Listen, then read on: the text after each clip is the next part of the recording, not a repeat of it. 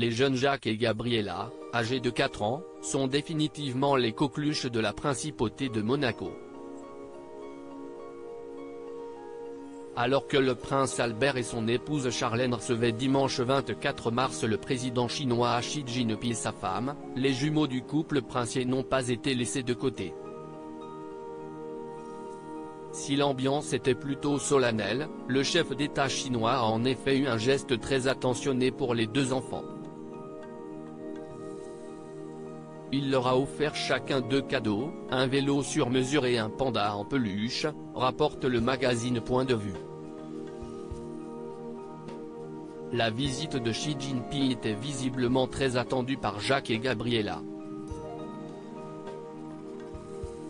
Alors que le président chinois faisait son entrée dans la cour du palais de Monaco, le jeune garçon a en effet été aperçu à une fenêtre, à moitié caché derrière un rideau et des lunettes de soleil, en train d'espionner ses parents.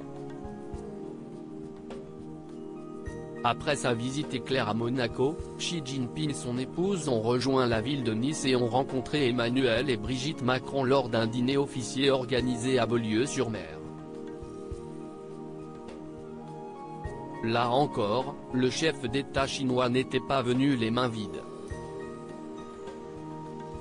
Le président français s'est vu offrir un vase précieux spécialement conçu pour l'occasion.